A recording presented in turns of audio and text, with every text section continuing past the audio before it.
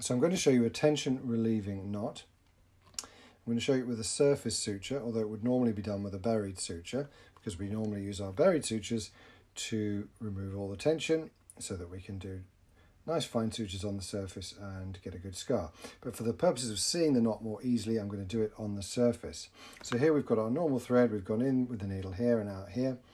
We've got a, a suture free end here and the needle end there.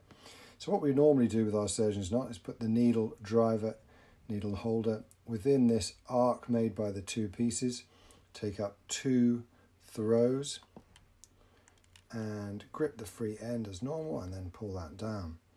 Okay but here we've got quite a lot of tension so it's going to slip. Okay it's opening up. So what we often do in this scenario is we ask our assistant to hold the wound edges together while we pull the knot down tight.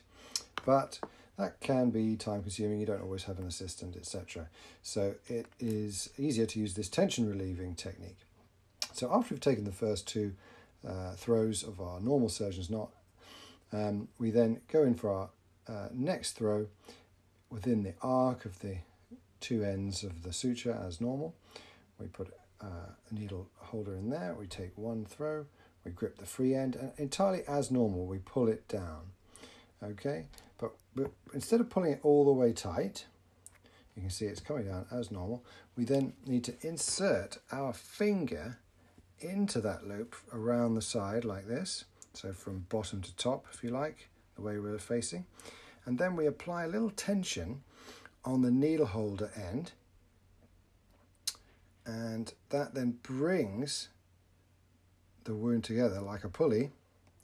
Okay we keep that tension on the needle holder end and you can actually slip your finger out of the loop now the tension's still there and then you just drop that throw right in and tighten then the knot is actually held but we need an additional throw as per normal to lock it.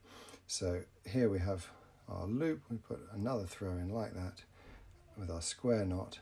And as we bring it down, you can see it's nice and square, and we bring that down to finish, nice and tight. And then we would just trim as normal. And that's your tension relieving knot.